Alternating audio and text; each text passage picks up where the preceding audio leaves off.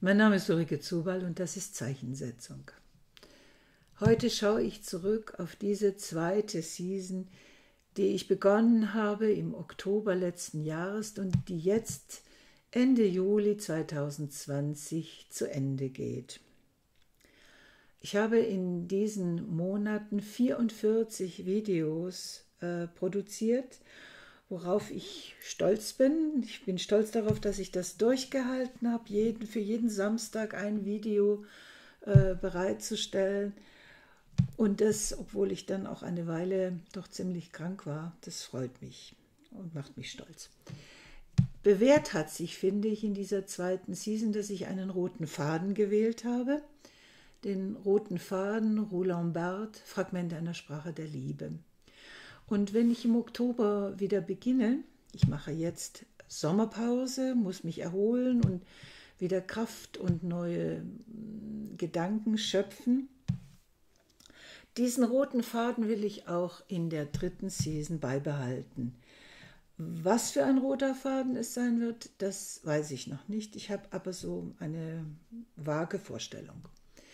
In der nächsten Season will ich denke ich, verstärkt auch klassische deutsche Literatur besprechen, aber nach wie vor Literatur aus der Welt, aus Nicht-Europa. Viele Vorstellungen, die ich jetzt gemacht habe in der letzten Season, waren ja Romane aus nicht-europäischen Ländern. Hinweise, die ich vor allem dem Guardian entnommen habe, der eben die englischsprachige Weltliteratur im Blick hat. Und ähm, und dann habe ich ganz zum Schluss auch sechs Romane in eine kleine Einheit getan, die ich genannt habe, Romane von und über People of Color. Ähm, das hat sich jetzt so ergeben, dass das genau in die Zeit fällt, wo die ganze westliche Welt vor allem, denke ich, äh, aufgewühlt ist durch den Mord an George Floyd. Aber das war nicht der Anlass, diese Romane auszuwählen, sondern äh, verursacht wurde die Auswahl durch zwei Momente. Zum einen, wie gesagt, durch eine Freundin aus Guinea-Bissau, die mir gesagt hat, lies doch mal diese zwei Romane, die werden gerade sehr stark gehypt und die könnten dich interessieren. Und zum anderen durch äh, Livestreams, die ich gemacht habe für meine Studenten, über Albert Camus Die Pest. Und da kamen nun zwei Momente zusammen, ähm, die das da, dazu geführt haben, dass ich gedacht habe, okay, ich mache mal eine ganz kleine Einheit über Literatur von und über People of Color. Und als ich ähm, das dann in die Wege geleitet habe, die Literatur gelesen habe, versucht äh, ein Skript zu schreiben für die einzelnen Videos, habe ich festgestellt, wie schwierig das ist, die richtigen Worte zu finden. Es ist so leicht, jemanden zu verletzen, jemanden zu diskriminieren. Und das wollte ich um keinen Preis. Und auf der anderen Seite äh, ging und geht mir ein wenig diese Political Correctness auf den Geist, die sich jetzt breit macht ähm, und sich so auswirkt, dass man fast äh, sich nicht mehr getraut, über manche Themen zu sprechen, weil man nicht weiß, oh Gott, verwende ich die richtigen Begriffe oder diskriminiere ich jemanden, trete ich jemanden auf den Schlips. Äh, Im Moment ist es so, dass Worte wie Etikette wirken, die man jemanden an die Brust heftet und schon ist er in die Schublade gesteckt. Schon bekommt er den Vorwurf, ein Antisemit zu sein oder ein Rassist zu sein oder äh, eben äh, Gender-Menschen ähm, diffamieren zu wollen.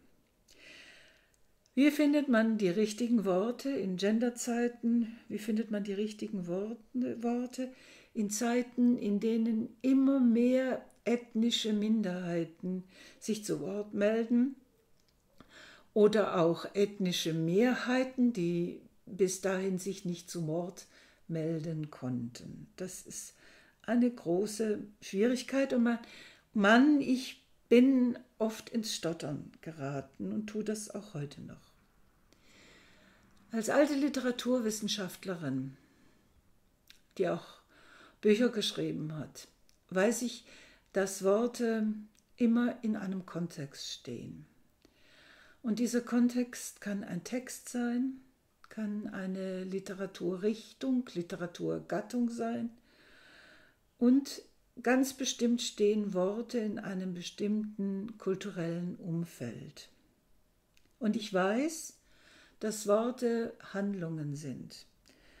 Ich bin groß geworden mit der Sprechakttheorie, dass wenn ich etwas äußere, ich eine Tat tue, äh, eine Handlung vollziehe. Und so kann allein die Verwendung eines Wortes eine verletzende Handlung sein, wie ich jetzt auch verstärkt in Diskussionen mit Freundinnen erfahren habe, gelernt habe. Worte können diskriminierende Handlungen sein. Wichtig ist jedoch, dass das Entscheidende nicht die Worte sind, sondern die Handlungen. Und deshalb meine ich, dass man vielleicht auch Menschen, die nicht so wortgewandt sind und auch äh, vielleicht nicht so genau Bescheid wissen, vielleicht auch etwas hilfloser sind, was ihre Wortwahl angeht, dass man diesen Menschen vielleicht doch mit ein wenig mehr Toleranz auch ähm, vielleicht gegenübertritt und sie nicht sofort in, in die Schublade Rassist oder äh, was auch immer ähm, steckt. Nicht sich an einzelnen Worten festhaken, sondern versuchen, verstehen zu wollen, was jemand sagen will. Das ist das Wichtige. Nachfragen und auch dann korrigieren, wenn man der Meinung ist, dass der äh, dass das Gegenüber Dinge sagt, die man einfach nicht teilen kann. Aber doch das wieder etwas mehr hinhören, was will eigentlich mein Gegenüber sagen und weniger, was sagt er, welche Worte verwendet er. Ich habe mir also sechs Romane im Vergleich angesehen und habe mit Albert Camus, einem Weißen, angefangen und seinem Roman Der Fremde. Und ähm, Camus ist so ein Fall. Camus ist für keinen Fall ein Rassist gewesen. Und er wollte für keinen Fall die Berber diskriminieren. Ganz im Gegenteil, er hat ihnen helfen wollen auch. Aber er war in seiner Zeit befangen und er konnte sich ein Algerien ohne Franzosen nicht vorstellen. Und ich denke, so hat er auch in einer gewissen Gedankenlosigkeit äh, Worte verwandt, wie zum Beispiel das Wort Araber, das nun wirklich nicht ähm, angemessen ist, um seine algerischen Landsleute zu beschreiben. Und er ist ihnen wohl letztlich auch fremd geblieben. Er hat sich letztlich nicht gefragt, wie sie sich selbst benennen wollen, wie sie sich selbst sehen. Der zweite Roman, den ich mir angeschaut habe, äh, stammte von Toni Morrison, Beloved, einer meiner Lieblingsromane. Und für mich ist Toni Morrison die Frau, die mir wirklich einen Einblick in die Seele äh, verschafft hat von gefolterten, gemarterten Menschen. Wie diese Menschen immer in der Vergangenheit leben, nie in der Gegenwart und schon gar nicht in einer Zukunft, weil ihre Seele so schlimme Verletzungen äh, ertragen mussten, dass sie darüber nicht hinwegkommen und dass diese ähm, Verletzungen dann auch wie Dämonen ihr Leben bevölkern können. Und auf der anderen Seite eine Sadie Smith, die mich lachen macht, die mich ähm, auch so erfreut, weil sie die Komik von Situationen, in denen Menschen aus unterschiedlichen Kulturen aufeinandertreffen, heraushebt. Wir leben in einer globalen Welt. Wir leben in einer Multikulti-Welt und da kommt es zu Missverständnissen. Und diese Missverständnisse können einfach auch sehr komisch sein und müssen nicht immer nur auf äh, das Verletzende hin beobachtet werden. Adichie Amerikaner war für mich auch ein ganz wichtiger Roman, weil er mir die Probleme, die alltäglichen Probleme einer schwarzen Frau aufgezeigt hat, die in einer weißen Umgebung lebt, vor allem auch in den USA, mit was für Vorurteilen sie konfrontiert ist, sublimen Vorurteilen, die sich in sehr negativen Handlungen, aber auch in positiven Handlungen zeigen, einfach in einem herausgehoben werden, in einer Liebe zum Exo zur Exotik, ähm, die aber dann eben doch verletzt, weil sie das Gegenüber nicht selbstverständlich als Mitmenschen nimmt, sondern immer als äh, andersartigen heraushebt. Underground Railroad von Whitehead hat mir Horrorszenarien vor Augen geführt, ähm, neue Einblicke in die Grausamkeit gegen die schwarzen Sklaven in den USA im 19. Jahrhundert verschafft, die ich so noch nicht, von denen ich so noch nicht wusste. Und dann Marlon James, das war der härteste Brocken für mich.